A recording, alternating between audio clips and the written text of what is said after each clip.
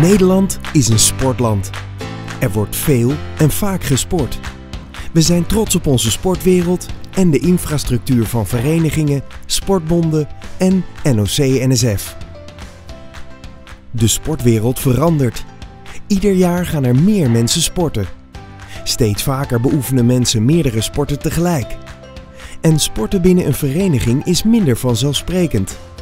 Zonde, want we weten als geen ander hoeveel waarde de sportvereniging heeft voor de sport en de samenleving. Verenigingen, bonden en NOC-NSF ondernemen actie. Samen versterken we de infrastructuur.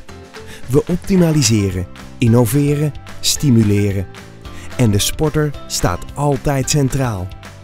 Dat is de transitie in de sport. En zo stellen we elkaar in staat om in te spelen op de veranderende sportwereld. Doe je ook mee?